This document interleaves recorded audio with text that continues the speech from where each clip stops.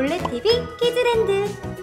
친구들 유라예요. 놀면서 배우는 TV 올레TV에서 키즈랜드 세상이 새롭게 열렸어요.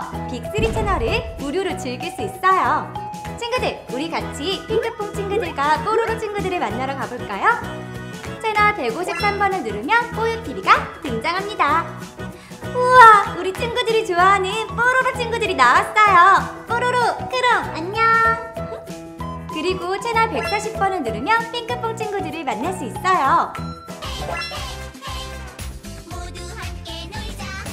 이렇게 뽀로로 친구들과 핑크퐁 친구들을 무료로 부담 없이 만날 수 있답니다 그리고 빅3 무료 채널에서는 유튜브에서 볼 수 없는 TV 전용 영상도 광고 없이 즐길 수 있다고 하니 정말로 신나는 소식이죠?